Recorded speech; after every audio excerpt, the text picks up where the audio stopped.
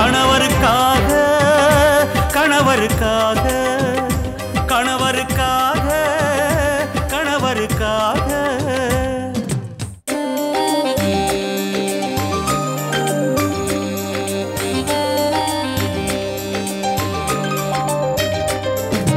சங்கீதம் மனதின் சந்தோஷம் சம்சாரி வாழ்க்கை உல்லாசம். சங்கீதம் மனதின் சந்தோஷம் சம்சாரி வாழ்க்கை உல்லாசம் இதுதானே உலகின் பூவாசம். கல்யாண வாழ்க்கை கண்ணாடி உடையாமல் காப்பானும் ஜோடி அவன் போல ஒருவன் உண்டோடி. ஒரு வீணை நீயடி உனை மீட்ட வேண்டினான் இரு கைகள் வேண்டுமே. அது கணவன்தானடி அந்த கண்ணகியும் சீதையும் வாழ்ந்தார் யாருக்காக? கணவருக்காக கணவருக்காக கணவருக்காக கணவருக்காக. சங்கீத மனதின் சந்தோஷம் சம்சாரி வாழ்க்கை உல்லாசம் இதுதானே உலகின் பூவாசம்.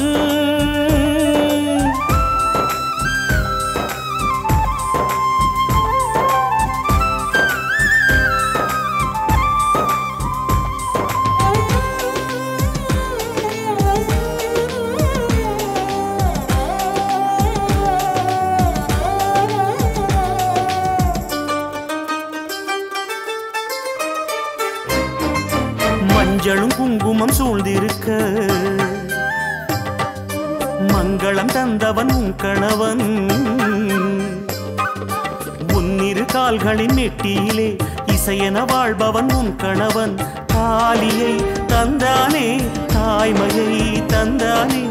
வாழ்விலும் தாழ்வினிலும் உன்னுடன் வந்தானே. அந்த கண்ணகியும் சீதையும் வாழ்ந்தார் யாருக்காக? கணவருக்காக கணவருக்காக கணவருக்காக.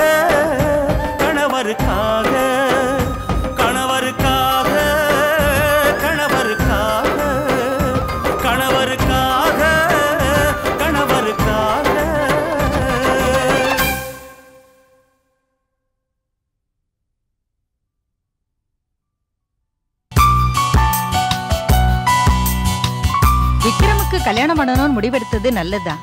ஆனா எனக்கு என்னமோ இந்த சம்பந்தத்துல விருப்பம் இல்ல. ஒரு சாதாரண மிடில் கிளாஸ் பொண்ணு நம்ம வீட்டுக்கு மருமகளா? நம்ம ஸ்டேட்டஸ்க்கு இதெல்லாம் ஒத்து வருமாங்க? விக்ரமுக்கு மனைவியா வர்றவன் நல்ல பொண்ணா இருக்கணும். அவ ஏழையா பணக்காரியாங்கிறது முக்கியம் இல்ல அத புரிஞ்சுக்கோ. எனக்கு புரியுது. நம்ம சரளாக்காக்கு இருக்கிறது ஒரே பிள்ளை. அதனால நம்ம லெவலுக்கு தகுந்த மாதிரி பெரிய இடமா பாக்குறது நல்லதுன்னு சொல்றேன். அருந்ததி நீ இன்னும் பில்கட்ஸ் குடும்பத்துல இருந்து வந்தவ மாதிரி பேசிட்டு இருக்க? நீயும் மிடில் கிளாஸ் தான். அதுவும் கடைஞ்செடுத்த மிடில் கிளாஸ் நீ இந்த குடும்பத்துக்கு மருமகளா வந்ததுக்கு அப்புறம் ஒத்து போகல? இத பாருங்க. நான் மிடில் கிளாஸ் தான். எங்க குடும்பத்துக்குன்னு ஒரு தகுதி இருக்கு. நான் ஏதாவது நல்லது சொன்னா போதுமே. உடனே என்ன குறை சொல்றதே உங்களுக்கு வழக்கமா போச்சு. வெங்கட் அருந்ததி சண்டே ஆரம்பிச்சிட்டீங்களா? உங்க ரெண்டு பேர் சண்டையை பார்க்கறதுக்காக நாம இங்க உட்காரல. விக்ரமோட கல்யாணத்தை பத்தி பேசி ஒரு நல்ல முடிவு எடுக்கலாம் தான் நாம இங்க கூடியிருக்கோம். இந்த பாருங்க. நம்ம குடும்பத்துக்கு தேவை நல்ல குணமுள்ள மருமக. சொத்தோ பணமோ தேவையில்லை. ஆண்டவ புண்ணியத்தில் அதெல்லாம் நம்ம குடும்பத்துக்கு தேவைக்கு அதிகமாவே இருக்கு. அந்த பொண்ணோட ஜாதகம் நம்ம விக்ரமோட ஜாதகத்துக்கு சரியா பொருத்தமா இருக்கு. நம்ம ஜோசியர் அந்த பொண்ணோட ஜாதகத்தை பத்தி தீர்க்க சுமங்கலி ஜாதகம்னு சொல்லியிருக்காரு. அந்த பொண்ணை நம்மோட விக்ரமுக்கு கல்யாணம் பண்ணி வச்சாதான் ஜாதகப்படி இந்த வருஷத்துல நம்ம விக்ரமுக்கு வரப்போற ஆபத்துல நம்ம தப்பிக்க முடியும். அந்த பொண்ணாலதான் விக்ரம காப்பாத்த முடியும்னு ஜோசியர் சொல்றார். அதை நான் நம்புறேன்.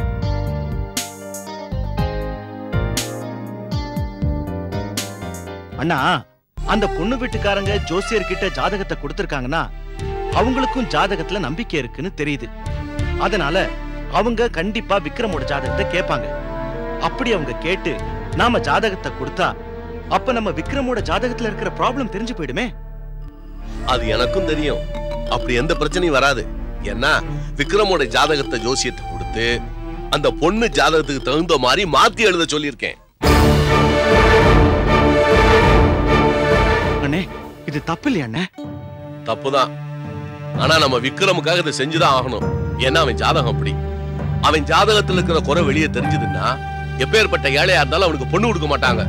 தெரிஞ்சே தான் பொண்ணை படுகொலியில தள்ளுவாங்களா? அதனாலதான் நான் அவன் ஜாதகத்தை ஜோசியிட்ட கொடுத்து மாத்தி எழுத சொன்னேன்.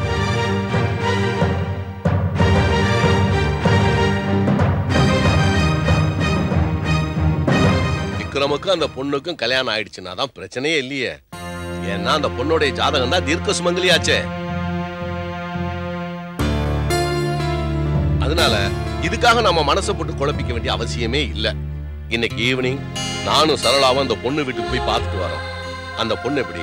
அந்த குடும்பம் எப்படின்னு தெரிஞ்சுக்கிட்டு வரோம். அதுக்கப்புறம் விக்ரமோட கல்யாணத்தை பத்தி பேசி நாம முடிவு பண்ணிக்கலாம்.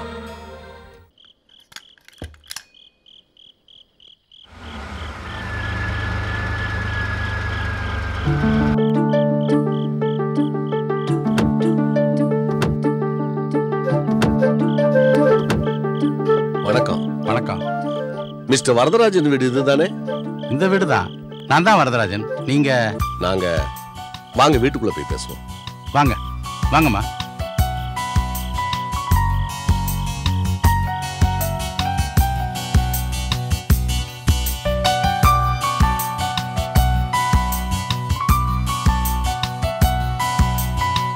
மகா? மகாலட்சுமி.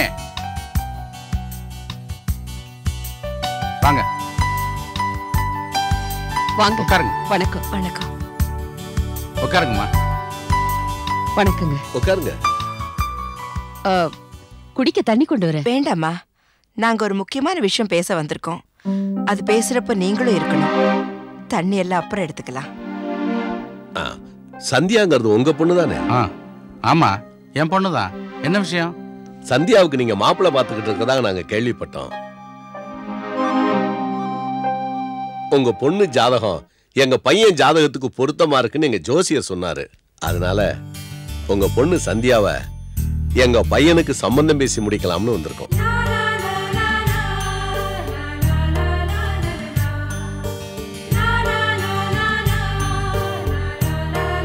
அதெல்லாம் சரி. ஆனா நீங்க யாரு என்னன்னு இது வரைக்கும் எதுவுமே சொல்லலையே. அடாடாடாடா. எங்களை பத்தி உங்களுக்கு சொல்லவே இல்லை. முதல்ல அதை சொல்லியிருக்கணும். மறந்துட்டேன். சாரி நாங்க யாரும்மா வந்திருக்கா?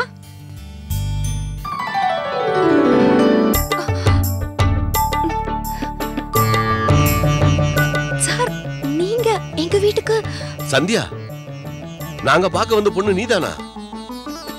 இந்த சந்தியா தான் உங்க பொண்ணுன்னு எங்களுக்கு தெரியாம போச்சே. என்னம்மா சொல்றாரு சாரு? இவரை ஏற்கனவே உனக்கு தெரியுமா? தெரியுமாவா? அப்பா இவர்தான்ப்பா எங்க கம்பெனியோட முதலாளி. என்னம்மா சொல்ற நீ? இவர்தான் உங்க முதலாளியா? என்ன சார் நீங்க போய்? சரளா நாம பார்க்க வந்த சந்தியா இந்த பொண்ணு தான் நம்ம ஆபீஸ்ல அசிஸ்டன்ட் மேனேஜர் பொண்ணு. வணக்கங்க. அதனால நாம சந்தியாவை பத்தி தெரிஞ்சுக்க வேண்டிய அவசியமே இல்லை. மிஸ்டர் வரதராஜன் உங்க பொண்ணை எனக்கு நல்லா தெரியும். இந்த சம்பந்தம் எங்களுக்கு ரொம்ப பிடிச்சிருக்கு. எங்க பையன் விக்ரம உங்க பொண்ணு சந்தியாவுக்கு நல்லாவே தெரியும். அதனால எங்க பையனை பிடிச்சிருக்கா இல்லையான்னு உங்க பொண்ணுகிட்டே நீங்க கேட்டு தெரிஞ்சுக்கலாம்.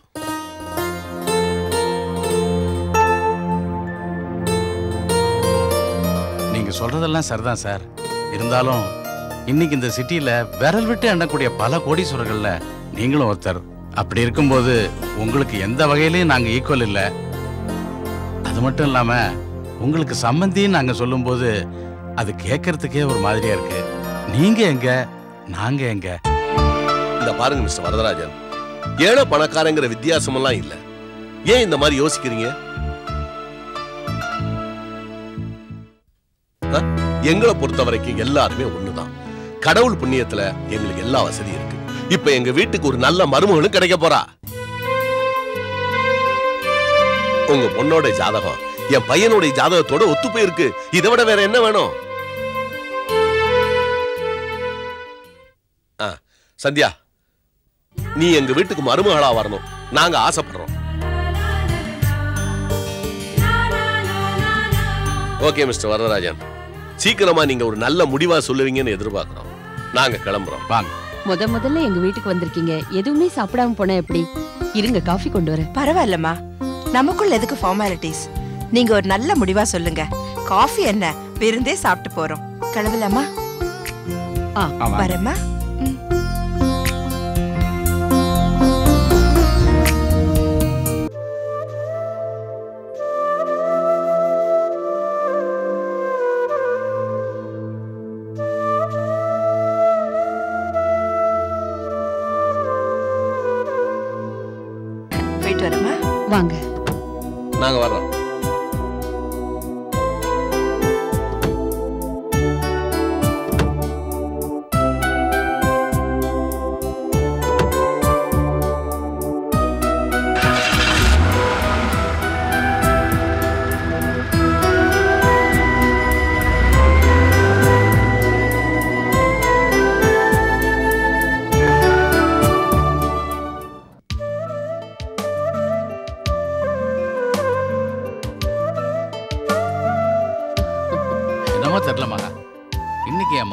ரொம்ப சந்தோஷமா இருக்கு. நான் மட்டும் என்ன? வருத்தத்திலயா இருக்கேன் பொண்ணுக்கு கல்யாணம்னா எனக்கும் சந்தோஷம்தான் அது இல்ல மகா திடீர்னு ஜோசியர் வந்து ஒரு நல்ல வரன் வந்திருக்கு. மாப்பிள்ளை வீட்டுல பொண்ணு ஜாதகத்தை கேட்கறாங்கன்னாரு சரியும் ஜாதகத்தை எடுத்து கொடுத்தேன். ஆனா இவ்வளோ பெரிய இடத்துல இருந்து மாப்பிள்ளைய கொண்டு வர போறாருன்னு ஜோசியர் என்கிட்ட சொல்லல. நானும் அதை கொஞ்சம் கூட எதிர்பார்க்கவே இல்லை. மாப்பிள்ளை யாரு? சந்தியா வேலை செய்யற கம்பெனி முதலாளியோட பையன் விக்ரம். உண்மையிலேயே நம்ம பொண்ணு சந்தியா ரொம்ப அதிர்ஷ்டக்காரி தான் பார்த்துக்கிட்டே இரு. இன்னும் கொஞ்ச நாள்ல தான் வேலை செய்யற கம்பெனிக்கே முதலாளியாக போறா அவ. நீங்க சொல்றத கேக்கும்போது எனக்கும் சந்தோஷமா தான் இருக்கு. ஆனா மனசுக்குள்ள என்னவோ பயமா இருக்குங்க. மாப்பிள்ளையோட குடும்பம். இந்த சிட்டியிலேயே பெரிய பணக்கார குடும்பம். அவங்களுக்கு பொண்ணு வேணும்னு ஒரு வார்த்தை சொன்னா போதும். நான் நீனு போட்டி போட்டுக்கிட்டு அவங்க சொந்தக்காரங்களே பொண்ணு கொடுக்க தயாரா இருப்பாங்க. அதை விட்டுட்டு நம்ம வீடு தேடி வந்து நெருங்கின சொந்தக்காரங்க மாதிரி சம்பந்தம் பேசிட்டு போறாங்களே. அவங்க தகுதி என்ன? நம்ம தகுதி என்ன? அது மட்டும் இல்லைங்க. அவங்களுக்கு இந்த ஊர்ல நிறைய பிசினஸ் இருக்கு. நம்ம சந்தியா அவங்களோட ஒரு சின்ன ஆபீஸ்ல தான் வேலை பாக்குறா இப்போ அதே வீட்டுக்கு மருமகளா ஆக போறா. இது தாங்க என்னால நம்பவே முடியல. உன்னால மட்டும் இல்ல மகா. என்னாலையும் தான் ஆரம்பத்தில் இதை நம்பவே முடியல. நம்ம பொண்ணுக்கு இவ்வளோ பெரிய இடத்துலேருந்து மாப்பிள்ளை வருவாருன்னு நம்ம யாருமே என்னைக்குமே நினைச்சு கூட பார்த்ததில்ல. அதனால தான் உன்னால இதை உடனடியாக ஏற்றுக்க முடியல. அது மட்டும் இல்ல மகா இதுக்கெல்லாம் காரணம் நம்ம சந்தியாவோட நல்ல நேரமும் தினமும் நம்ம கும்பிடுறமே கடவுள் அவரோட அனுகிரகம் தான் அப்படின்னு நாம நினைச்சுக்கணும். நான் சொல்றது உனக்கு புரியுதா? அதை விட்டுட்டு எல்லாத்தையும் சந்தேக கண்ணோட பார்த்துக்கிட்டு இருந்தா எல்லாமே தப்பா தான் படும். இத பாரு மகா. நீ சொல்றதெல்லாம் உண்மைதான். நீ சொன்ன மாதிரியே அவங்க ரொம்ப பெரிய இடம்தான். சொத்துக்களும் பணமும் ஏராளமா எக்கச்சக்கமா இருக்குதான். அதையெல்லாம் நான் ஒத்துக்கிறேன். இருந்தாலும் சந்தியா மாதிரி ஒரு பொண்ணு அவங்களுக்கு மருமகளா கிடைக்கணுமே? நம்ம சந்தியாவோட நல்ல குணமும் புத்திசாலித்தனமும் அவங்களுக்கு பிடிச்சிருக்க போய்தான் அவளையே தங்க வீட்டு மருமகளா ஆக்கிக்கணும்னு முடிவே பண்ணித்தான் ரெண்டு பேரும் நேரம் இங்க வந்து சம்பந்தம் பேச வந்திருக்காங்க. இதுல போய் சந்தேகப்பட்டதுக்கு என்னமா இருக்கு? இத பாரு மகா அதிர்ஷ்டம் வீடு தேடி வந்து நம்ம வீட்டு கதவை தட்டும்போது அதை வேண்டான்னு சொல்ல எனக்கு இஷ்டம் இல்லை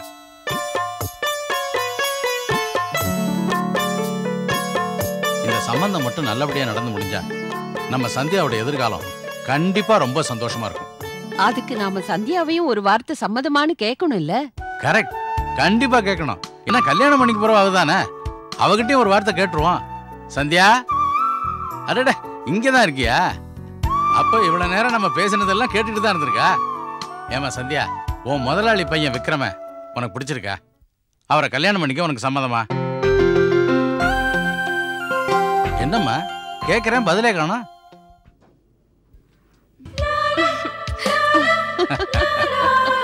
அப்போ சந்தியாவுக்கு விக்ரம பிடிச்சிருக்கு.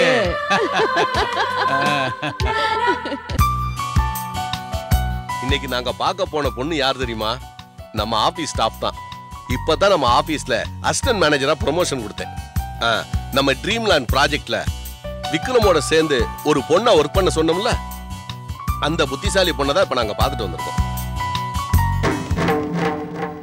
யாரு? சந்தியாவா? ஆமா அந்த மகாலட்சுமி தான் நம்ம வீட்டுக்கு மருமகளா வரப்போறது.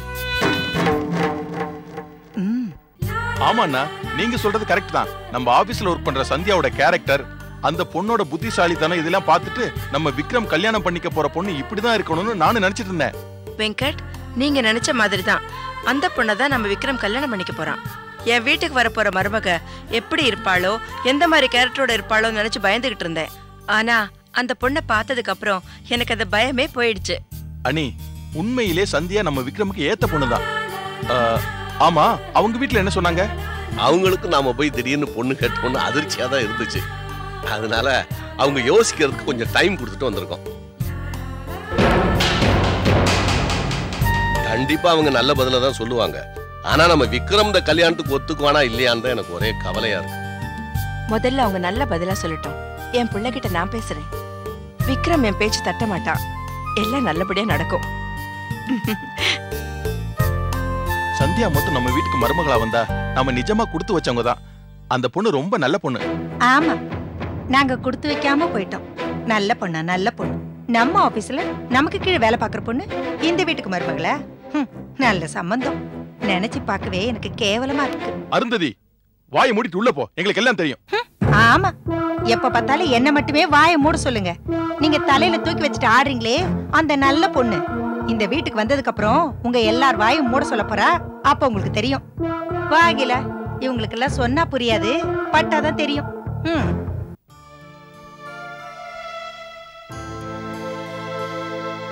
அட கடவுளே எப்படி இருபத்தி மூணு வருஷம் இவ கூட குடும்பம் நடத்தினேன்னு எனக்கே தெரியல. இதுக்காகவாவது எனக்கு பெஸ்ட் ஹஸ்பண்ட்னு அவார்டு கிடைக்கணும்.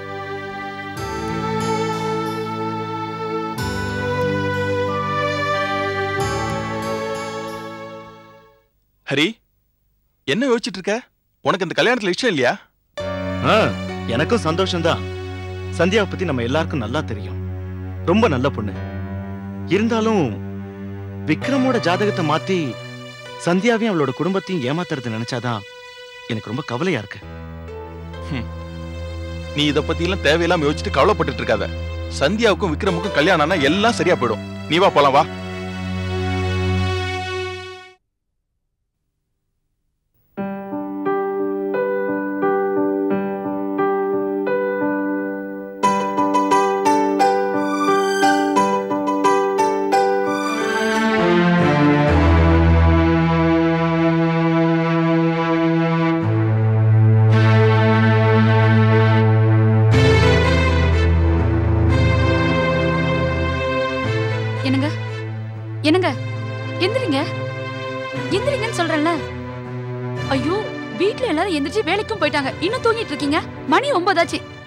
சொல்றேன்ல.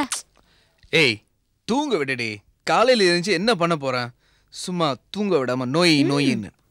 ஆமா ஆமா நீங்க சொல்றதும் கரெக்ட் தான். வேலையும் இல்ல வேலைக்கு போலான்னு முயற்சியும் பண்றது இல்ல இப்படி தூங்கிட்டு இருக்கிறதே வேலையா போச்சு. மாமா உங்களை என் முன்னாடி திட்டும் போது என் மனசுக்கு எவ்வளவு கஷ்டமா இருக்கு தெரியுமா? இதெல்லாம் உங்களுக்கு எங்க தெரிய போகுது? உன் புருஷன் கெட்டு போறதே ஒன்னாலதான் எல்லாரும் என்ன திட்டுறாங்க? மாமா திட்டுறதுல என்ன தப்பு இருக்கு சொல்லுங்க? வீட்ல எல்லாரும் உங்களை நினைச்சா கவலைப்பட்டுட்டு இருக்காங்க. முதல்ல அதை புரிஞ்சுக்குங்க.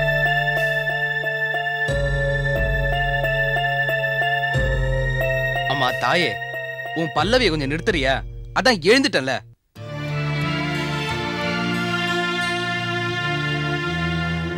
புருஷனை திட்டுறதுல இந்த பொம்பளைங்களுக்கு அப்படி என்ன சந்தோஷனே தெரியல. பிரியங்கா தான் எதுவும் பேசாம இருந்தா. அவளும் பேச ஆரம்பிச்சிட்டா. ச்சே எல்லாம் இவளை சொல்லி குத்தம் இல்லை அந்த வரதராஜன் சொல்லணும். தான் மருமகளுக்கு நல்ல ட்ரைனிங் கொடுத்து வச்சிருக்காரு. ச்சே எல்லாம் என் நேரம். எனக்கு மட்டும் வேலை கிடைக்கட்டும். அதுக்கப்புறம் தான் இருக்கு. இந்த வரதராஜனுக்கும் பிரியங்காவுக்கும்.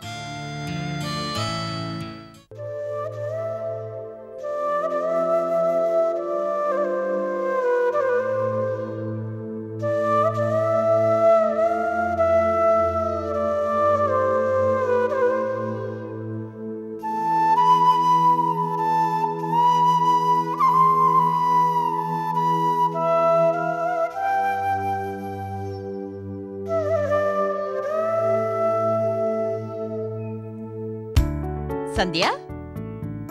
என்னாச்சு? ஆபீஸ் போகாம இங்கேயே உட்கார்ந்து யோசிச்சிட்டு இருக்க ஆமா நேத்திக்கு உங்க ஓனரும் ஓனர் அம்மாவும் வந்துட்டு போனதை நினைச்சு யோசிச்சிட்டு இருக்கல பெரிய வீட்டுக்கு மருமகளாக போற வேலை செய்யற ஆபீஸ்க்கே ஓனர் ஆக போறத நினைச்சு கனவு காண்றியா? அப்படிதானே? அதெல்லாம் ஒண்ணும் இல்லம்மா. அம்மா நமக்கு இந்த சம்மந்தம் வேண்டாமா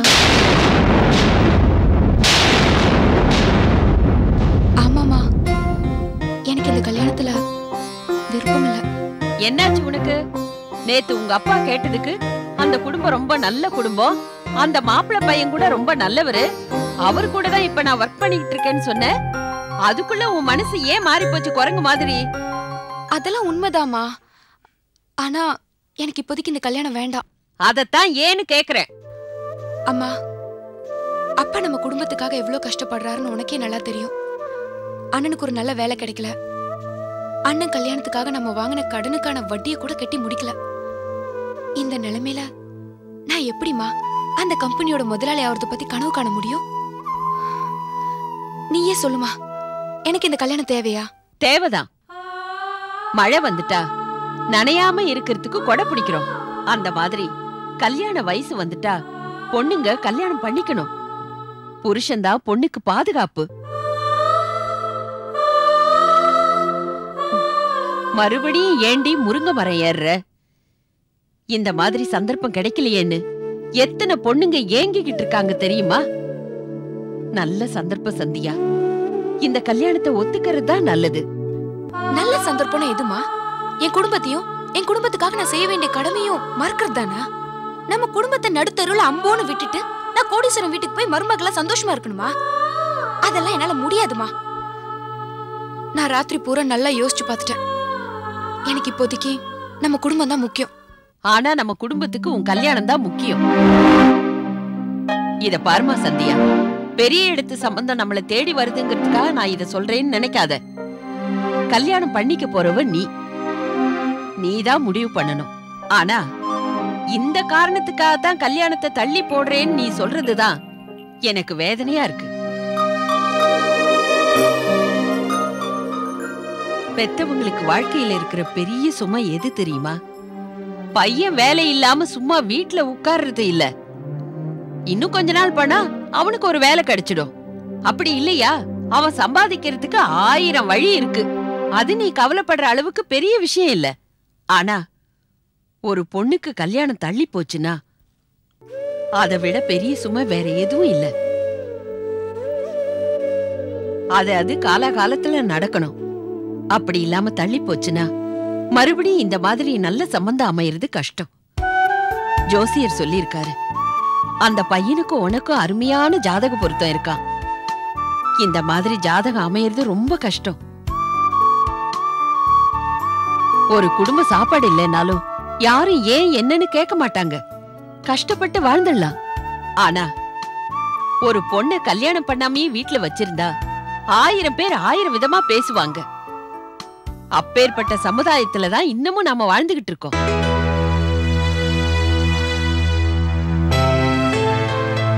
அம்மா சொல்றது கரெக்ட் தான் சந்தியா. என்ன உன் அண்ணனுக்கு வேலையே கிடைக்காதுன்னு முடிவு பண்ணிட்டியா?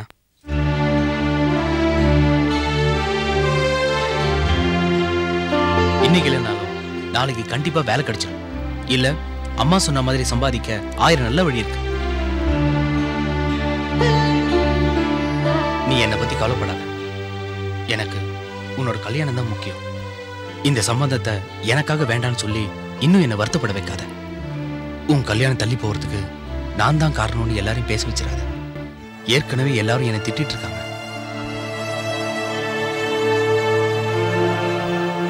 சந்தியா எங்க அண்ணனுக்கு இன்னும் வேலை கிடைக்கல. அதனால தான் நீ கல்யாணம் பண்ணிக்கலன்னு மாப்பிள்ளை வீட்டுக்காரங்களுக்கு தெரிஞ்சா உடனே அவங்க கம்பெனியில எனக்கு ஒரு நல்ல வேலை போட்டு கொடுப்பாங்க. உங்க அண்ணன் தன்னோட சுய கௌரவத்தை இழந்து தங்கச்சி கல்யாணத்தை வச்சுதான் நான் வேலை வாங்கணும்னு நீ நினைக்கிறியா?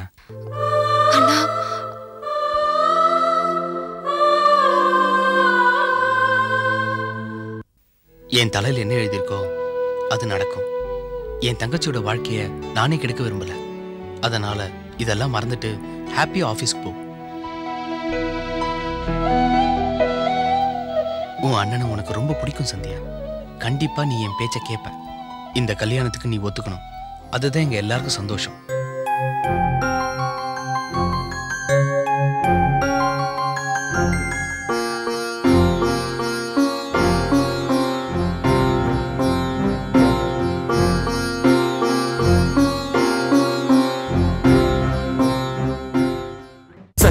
மனதின் சந்தோஷம். சம்சாரி வாழ்க்கை உல்லாசம். இதுதானே உலகின் பூவாசம்.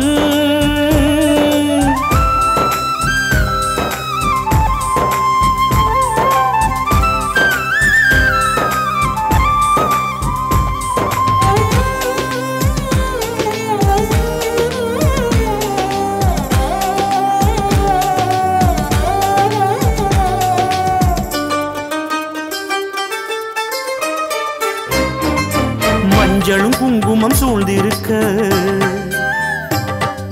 மங்களம் தந்தவன் உன் கணவன்.